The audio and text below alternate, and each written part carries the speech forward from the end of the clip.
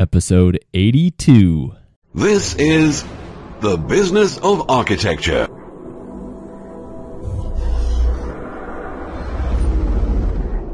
Helping architects conquer the world. And here's your host, Enoch Sears.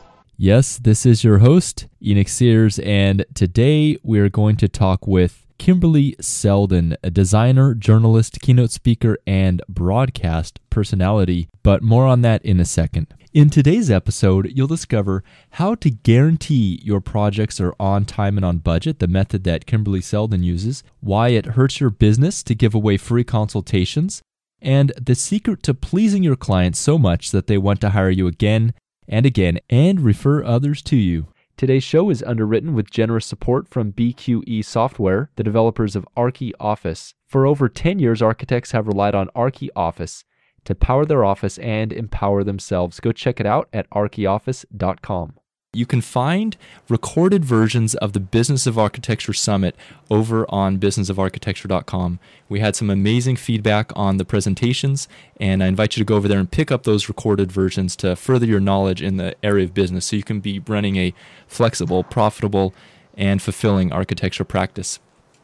Now, there was one iTunes uh, review that came in here. I want to read this out. I want to thank B.A. Ware is the handle here, and I, I, am pretty sure 99% I know who you are. Uh, B.A. Ware says this podcast is really what all architects who run a practice need. Enoch brings to light what is working and not working by interviewing those that have walked the path before. His in depth and insightful interviews are not only educational, but directly applicable to firms today. Oh, how I wish he was doing this years ago when I started my firm. It would have saved me lots of mistakes. I look forward to many more podcasts. Enoch, keep on going. Well, thank you very much, BA Ware. I, I appreciate it. And I as well wish that a resource like this for architects would have existed uh, when I started out. Now, I'm going to tell you there actually is a resource that's very similar, and it's, it's tailored more towards designers. And I'm going to be talking with the founder today of Business of Design, Kimberley Seldon. Kimberley Seldon is a designer a journalist, keynote speaker, and broadcast personality with over 20 years in the public eye. Now, Kimberley is the host of three television series, including HGTV's Design for Living. She's a design expert on Cityline and frequent guest spokesperson on HSN and TSC. Additionally, she's the editor in chief for Dabble magazine as well as the leader of an award winning interior design build studio with offices in Toronto and Los Angeles. So, Kimberley Seldon, welcome to the business of architecture. It's great to be here, Enoch. Thank you for having me. Absolutely. It is really a pleasure to have you, and especially someone so well aligned to what we're doing over here at the business of architecture.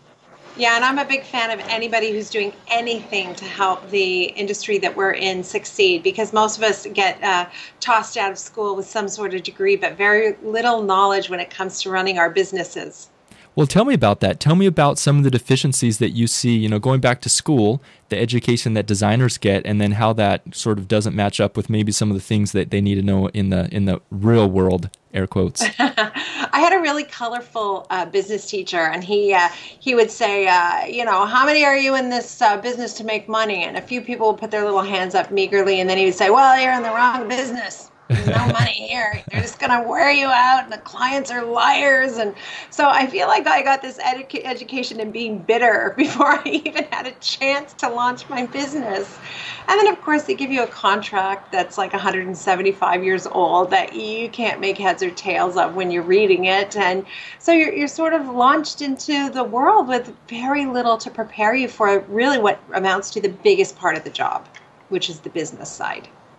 Exactly. Well, tell me about your your journey, Kimberley, to build your design build studio. And did you start working for another firm out of school? Tell me a little bit about how you. Let's talk. Let's focus on your design firm for the moment. Okay, so I graduated in 1991 and it was a terrible recession. And I tried very hard to get a job working for anybody, but there was simply no work. It's really not unlike the recession that started uh, in 2008, which of course everybody's feeling uh, still the effects of. So I did what a lot of people would have done. And I went into business for myself. You know, how hard can it be? Uh, and it turns out it's pretty hard. it's pretty darn hard. And uh, I think uh, the fact that I'm an eternal optimist and I'm a people pleaser actually made it even that much more difficult, believe it or not, because I did not have a set of tools to run a linear progression of a project from beginning to end. And too often I found the clients who had even less experience than I did interfering with the work process and changing their minds and second guessing me. And I, I just simply couldn't take a project from beginning to end uh, without a lot of painful bumps in the road along the way. And I, I really got to the point where I thought, I can't do this. I just, you know, I'll just do the TV uh, and I'll do the magazine stuff because that's lovely and people are nice to you and you get your makeup done and all that kind of stuff. Uh, and then you're out in the real world with clients and it, it's tough out there. So I, I hit a very low point, I would say, about 10 years after I was in business. If you could go back and just sit down and have a small chat with that version of you 10 years previous, what would you what would you tell yourself? First of all, I would have stopped everything in my tracks and I would have found myself a business mentor, um, somebody who could teach me business. But the reality is, and I, perhaps it's not as uh, pertinent for architects, I don't know, but for interior designers and decorators and stagers, we all think of ourselves as creative people and the business is something you have to put up with. Uh, but in fact, I now know it's a business, and I'm very lucky that a small portion of what I love to do is creative. And when I finally now have a system and procedure for running a project from top to bottom, I can enjoy the creative part because I'm not constantly battling it out with clients and and uh, negotiating who's going to be in charge. I now know how to maintain control of the project and all that kind of stuff. So when I first started out, I would have got myself a business mentor. And the next thing I would have done is I would have hired someone to answer my phone. Funny enough because uh, I find often uh, for interior designers, I'm sure for architects too, the clients will phone uh, the potential uh, professional and they'll begin to pick their brain over the phone and ask all kinds of questions that you're not in a position to answer because you don't have enough information. Um, and a phone call that should take 15 minutes to get someone signed up for a consultation ends up taking an hour and then some back and forth and they want to ask you one more thing because they interviewed 12 other people. So if i had to go back to the beginning i would hire someone right off the bat to answer my phone because having done that that changed my life. Mm. so let's talk about uh, getting a business mentor quickly. Did you finally go that route and get a business mentor I did because I really I was on the fence. I'm gonna I'm gonna quit working with clients because it's too hard. Nobody could have tried harder than me. I was willing to sacrifice weekends and evenings and sanity. I would have done anything to make the client, and yet I was failing. So I did find somebody who had nothing to do with the interior design architecture industry, the building industry. She didn't know anything about it. Uh, she worked with banks and she worked with big car companies. And at first I thought, oh, how's this going to work? Because it's just little me. I'm not a big corporation. Uh, but in fact, some of the principles that the big corporations use work really well for the small business order or small business owner. And uh, we worked together um, for four or five years, and she really kind of pushed me. Um, to come up with a business strategy that worked. So, uh, really, the the upshot of it is this: too many people in the industry are unable to deliver projects on time and on budget.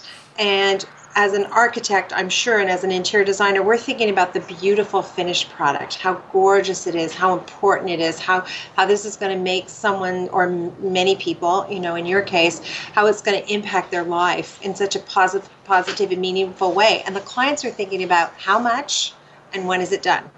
So I had to realign my thinking and start uh, creating a business that was structured around, you know, guaranteeing work on time and on budget. And that was something that just nobody did. Nobody did, and it seemed impossible. Believe me, even even during the processes we were building it, it seemed impossible. But it, it, it works, so I'm happy about that. And what were what were the keys to implementing that? Well, it, it had to do, for me, it had to do with maintaining control of the project from the first step. So, what I finally have created now is a 15 step project management strategy. And the idea behind it um, sounds a little sinister, but it's not. The idea behind it is that uh, the clients enter the relationship at step one, and there is nowhere for them to exit until step 15. It, it flows seamlessly one step to the next, and it's completely controlled by me, the person who's the professional in the relationship, and the clients um, actually love it. Uh, for, for so long, when a client would have a suggestion, I thought that meant you should just implement it no matter what. When in fact, the clients are just offering an opinion, but they don't. They're not an architect. They're not a designer. They're not running the show. So I had to take responsibility for pushing the project from A to B. You know, and uh, it wasn't easy. There were some bumps along the way, but we're there now. hey, Architect Nation! It is great to have you listening in today. I want to remind you that this episode of Business of Architecture is sponsored by BQE Software, the developers of ArchiOffice. ArchiOffice has been powering architecture firms for over 10 years and helping them to be more productive and profitable, which empowers architects to do what you like to do and what you got in this business for in the first place. Create great architecture and spaces. Go check it out at archioffice.com. Now back to our show. Kimberley, could you give me an example of part of that 15 step process and what you mean by how this process helps you keep them on track and keeps you as the professional in the relationship? Okay, so uh, with interior design, which I I know that there's a little bit different with architecture, but what the way that the process works for us is I go to a consultation, which by the way I never go to a consultation that isn't paid. It's a waste of everybody's time. Lots of people say, "Oh, you show up and you see if you like each other." No, you're gonna like each other. You show up for a working meeting, and if you get the client to pay for the consultation, they've already invested in your business, and all you have to do for me at that point, they've already completed step one. I'm already at step two. Um, so I'm not talking to them about starting the project. I'm just talking to them about continuing the project that they've already started, which is a different thing. So that was one thing. I had to figure out um, what was what was relevant to be in the contract and what's irrelevant. And my contract is literally written for a third grader. And that's because I discovered a lot of my clients have lawyers or teams of lawyers, and I'm never going to outlawyer them. So, what I decided to do instead is just talk to them in the simplest, plainest language so that in the event there's a disagreement, everybody interprets the same message and, in same reading out of the contract. So, my contract's very, very simple. Um, I had to get flat the retainer, you know, how much of a retainer do I need to take? What's the formula for determining that retainer? Um, and then, uh, when in our process, when we get to step five, that's the presentation. And what's very different is I used to come to the client's house and I'd show them the floor plans and the elevations and they would love it. That's great. And then I'd come back and I'd show them the sofas and the draperies and the and the furniture and they would love it and that's great. And then I would come back and I'd show them an area carpet and a table lamp and a, a piece of art and they'd go, Well that's great, but does it go with this and does it go with that? And suddenly they start interfering and second guessing and they started going shopping and saying, What about this chair instead of that chair? So today what's very, very different is after um, I do my uh, inventory and our site inspection, and we get all of our trades in to do a quote. The next time the clients see me, I've made every decision for their house. I literally do a turnkey presentation where every drawing is done, every piece of hardware, every toilet is specified, every piece of furniture, here's what the draperies look like, and what it costs. And then all the client has to do is write a check at that point they snap their fingers and we just have to project manage it to the end there's no change orders uh, there's no delays uh, and my clients, I went from having a business where I had zero repeat customers, zero referral customers, to now having 85% of my customers be repeat, and uh, the other 15% are referrals. So I, I don't advertise, I don't have to advertise, and I don't have to worry about where the next job's coming from, which is, you know, something that we all have to think about. Absolutely. What is the key, would you say, Kimberley, to getting those repeat referrals, uh, both repeat clients and the referrals? You know, it's it's going to sound ridiculous, but it's finishing the job. So this is what I always say. I got about seventy percent of the way through, and this is my experience teaching thousands of designers and decorators, and uh, we got about seventy percent of the way through, and the clients would run out of money, they'd run out of patience, they they'd run out of gas. You know, they just were done, and then eventually they would say something like, you know, we're just going to finish it ourselves. It's mostly done, and we'll just finish it ourselves. And that idea of them just finishing themselves ruined it. We were not able to take photographs of it.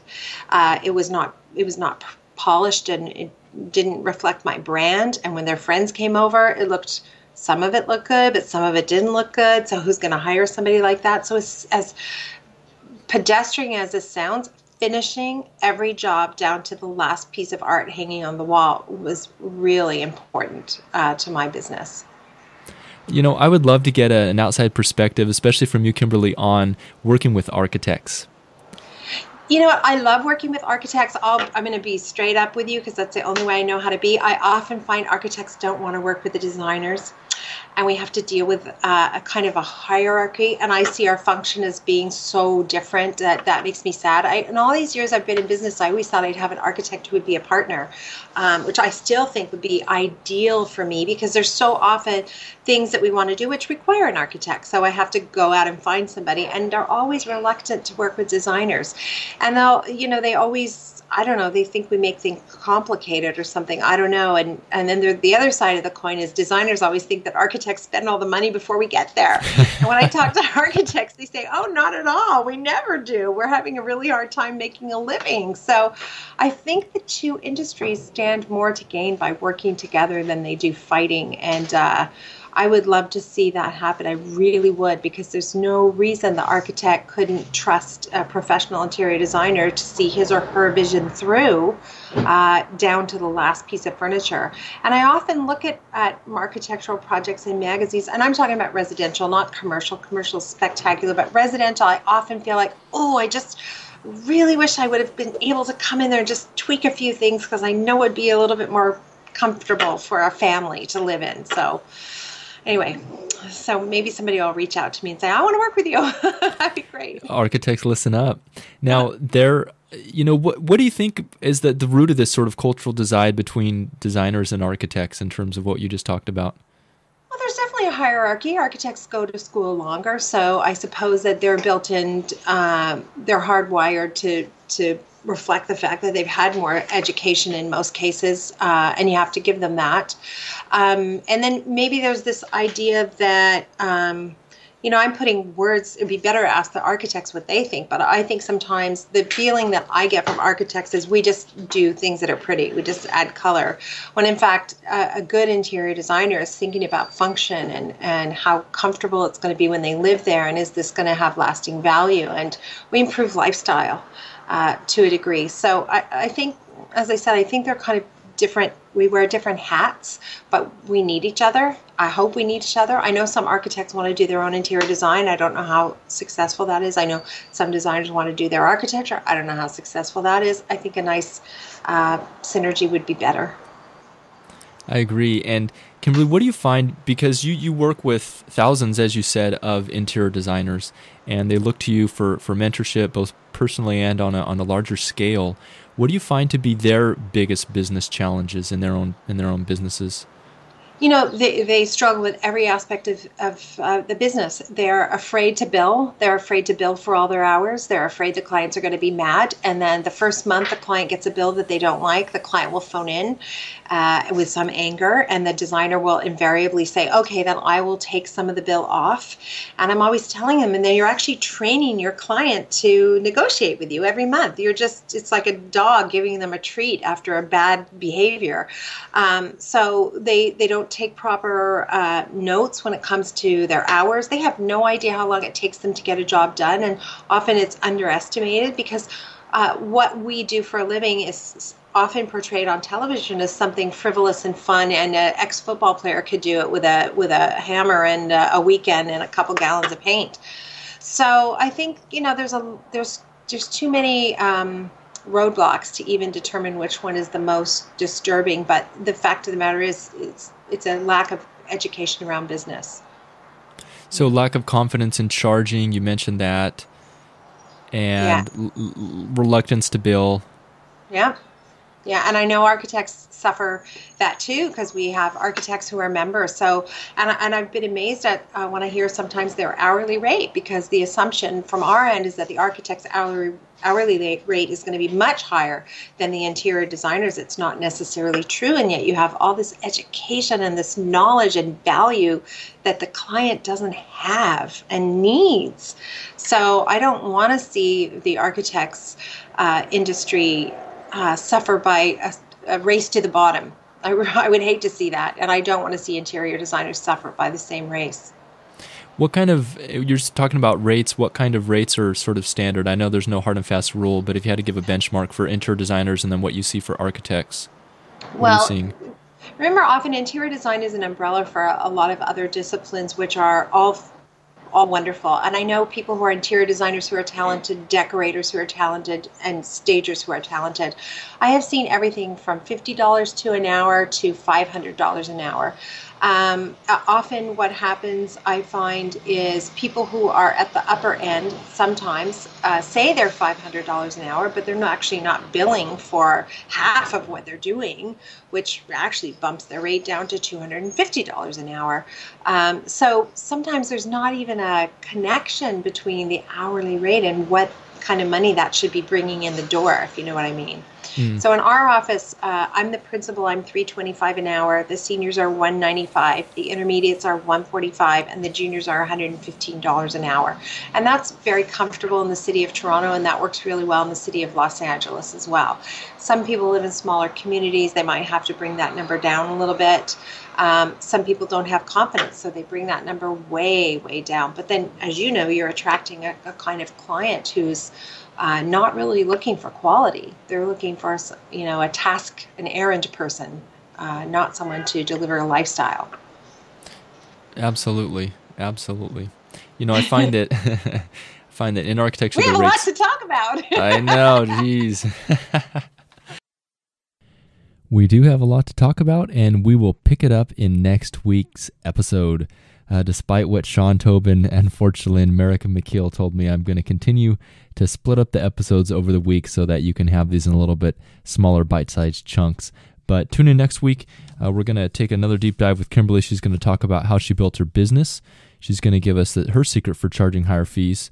She's going to talk about the secret to getting published, and this is something I'm probably never heard before. So if you are looking to get some PR, get published in some magazines, definitely want to listen to next week's episode and she's going to share actually a no fail trick for getting into the magazine of your choice.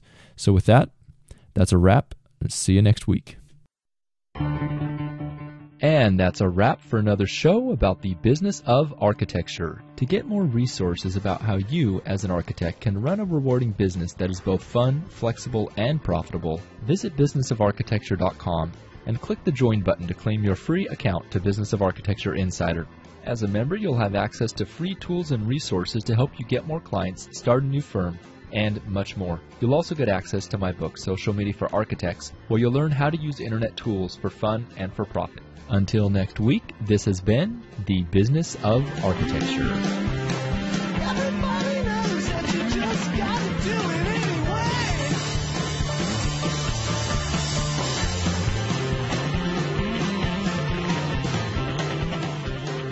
Views expressed on the show by my guests do not represent those of the host, and I make no representation, promise, guarantee, pledge, warranty, contract, bond, or commitment except to help you conquer the world.